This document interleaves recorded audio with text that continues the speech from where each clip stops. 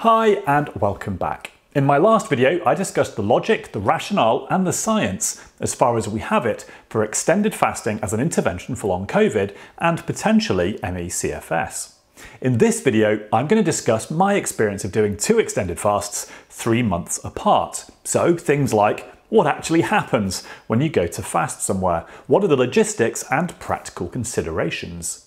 In the next video, I'm going to discuss the difference it's made to my symptoms, and in the final part, a discussion regarding its application to long COVID generally. What I do have to say up front is that stories abound on social media of long haulers crashing really hard when they try to fast.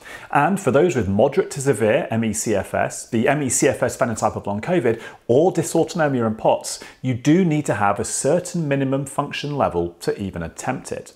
I believed that my baseline was probably above this level, but I was certain I still wanted medical supervision.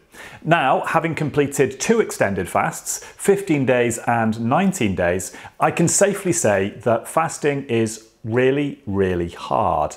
Uh, that's even if you're well, um, and even harder if you have long COVID.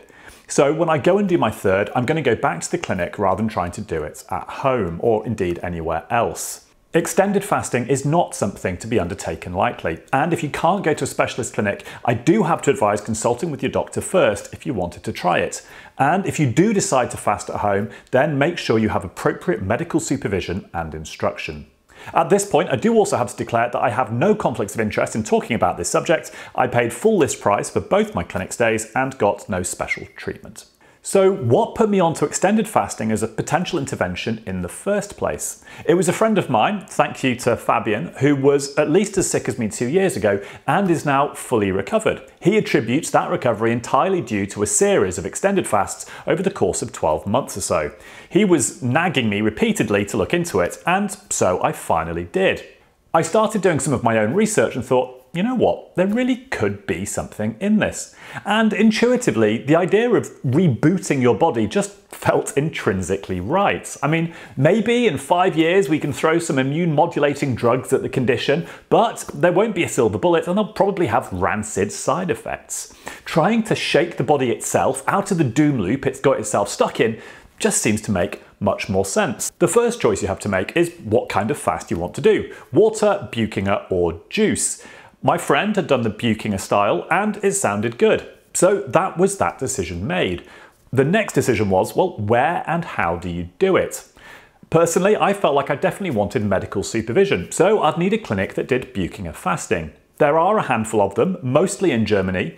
The official Buchinger Wilhelmi clinic is apparently very good, but also booked up forever and very expensive.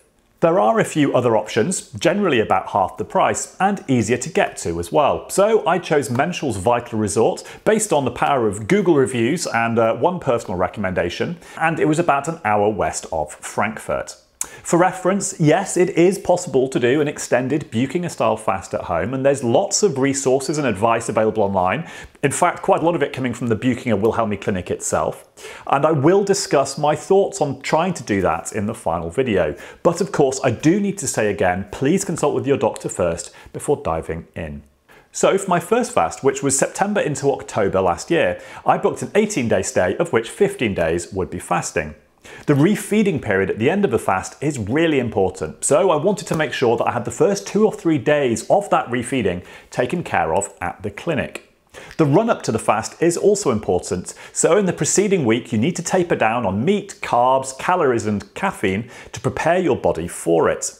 And after catching my two most recent COVIDs on planes, I no longer fly if I can possibly help it, so I took my time and spent a couple of days driving out to Germany.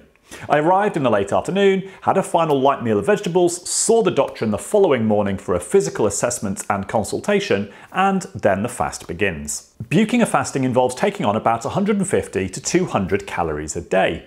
This consists of a small fresh fruit juice in the morning, then a vegetable broth for lunch, and either another broth or juice for dinner. Having meals in this way still helps keep some structure in the day and is quite psychologically important.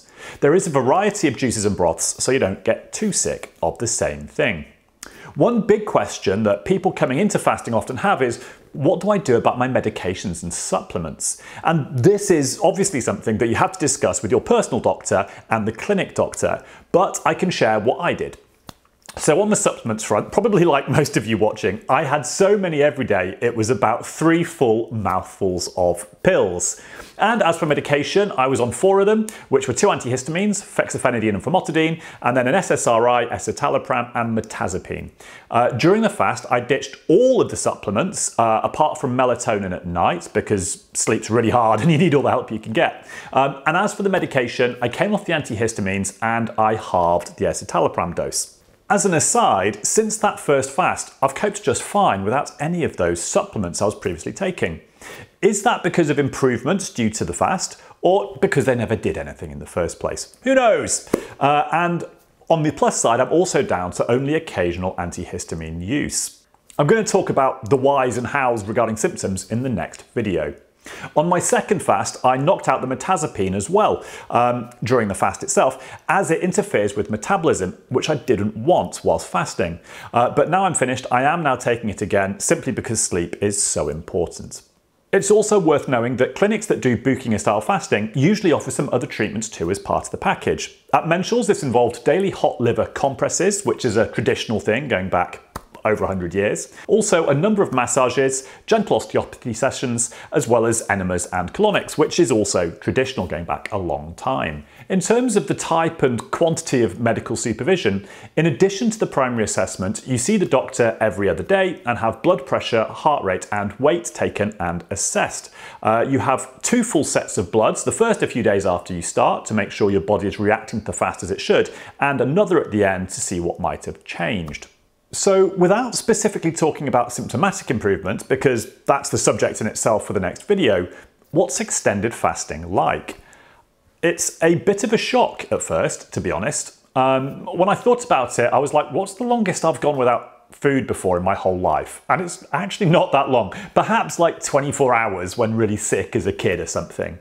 So when you start pushing the boundaries out, skipping meal after meal after meal or real solid food, and you get to 36, 48 hours, 72 hours, it does feel pretty radical. And it's not just that, but the first few days of a fast are actually really tough physiologically. Um, probably the toughest because your body switches into full ketosis and releases a huge amount of cortisol. Uh, it's hard if you're healthy in fasting, and I suspect it's significantly harder if you're also battling long COVID. Sleep is one of the hardest things to come by, especially in those early days of the fast, due to that amount of cortisol being pumped out by your body you need to expect some pretty sleepless nights. And if you're already sensitive to a lack of sleep or have poor quality sleep, like most of us do with long COVID, then this means the days are going to feel pretty rough. One reason why I wanted to go to a clinic is that whilst you're there, there's no expectations, obligations, or behaviour patterns that you might have at home. You can be completely selfish and just look after your own needs. So when you need to rest, you just can. So it doesn't matter if you're not that functional during the day. You don't even need to worry about preparing your meals, as that's all done for you too.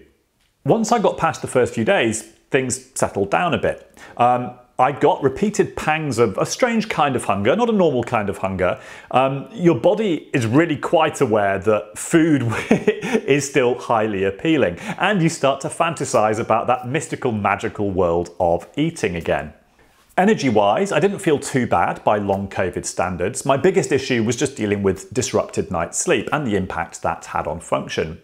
You're generally encouraged to be as active as you feel able. For me, this meant I'd go for the odd short walk, perhaps 10 gentle minutes or so, um, and then do 10 lengths in the pool, followed by a sauna, which sounds rad, doesn't it? I'll talk about that in the next video. I didn't really feel in the right frame of mind to work, but I was able to read in bursts, and I got through about three books each time I went out to fast. One thing that I ought to briefly mention is the emotional journey of fasting.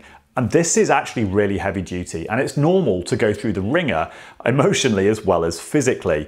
It can be a purge in just about all senses. And I'll talk about this a little bit more in the next video. And finally, when it comes to break your fast, uh, you start with a baked apple at lunch, and then you slowly build up uh, on easily digestible food in small quantities gently increasing them over the period of sort of two, three, four, five days or so. And you can eat normally again after about a week. Then, before you check out, you see the doctor for a final physical assessment and discussion and are free to go. The big question, which I'm sure everyone is waiting for, well, how much weight do you lose? Well, on the first 15 day fast, I went down from 78 kilos um, upon starting to 71 at the end. And on the second 19 day fast, I went from 75 kilos at the start to 68 kilos by the end. I am intending on going back for another fast, but I feel like I need to get my weight back up to at least 75 kilos or so before I do. Generally speaking, there is no contraindication for being slim and trying to fast, but the medical advice is that you ought to have a BMI of at least 18.5 at the end of the fast, so it's worth being aware of that. I hope that's helped describe the physical logistics of fasting. If you've got any questions about any of this, please do chuck them in the comments and I'll do my best to answer them.